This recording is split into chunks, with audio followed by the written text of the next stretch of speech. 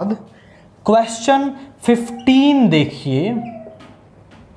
The volume of largest right circular cone that can be carved out of a solid cube of edge two centimetre is आप समझो कि आपके पास एक cube है we had a cube और मैं उसका एक ही फेस बना रहा हूँ, उसमें आप एक इस तरीके से कौन कट कर रहे हो।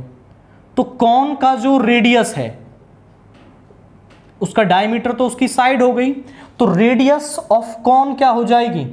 रेडियस ऑफ़ कौन हो जाएगी, इसकी साइड साइड ऑफ़ क्यूब को टू से डिवाइड कर देंगे।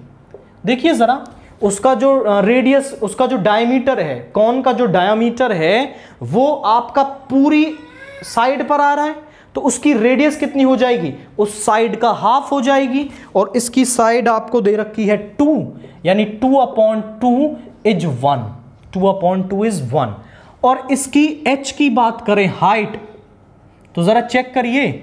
हाइट कितनी है? जितनी उसकी साइड है, यानी टू सेंटीमीटर तो हाइट ऑफ़ कौन है हमारे पास? वॉल्यूम का फॉर्मूला होता है हमारे पास one by three pi R square H देखिए, हमें आर चाहिए वॉल्यूम के लिए एच चाहिए। मैंने दोनों निकाल दिए। जो आर है, वो आपका साइड का हाफ़ होगा क्लियरली आपको दिख रहा है। और जो उसकी हाइट है, वो एग्जैक्टली exactly उसकी साइड के इक्वल होगी, यानी टू होगी। अब आप वैल्यू रखते हैं यहाँ पर। पाई को नहीं रखना है, क्योंकि ऑप्शंस में पाई आपको दे रखा है।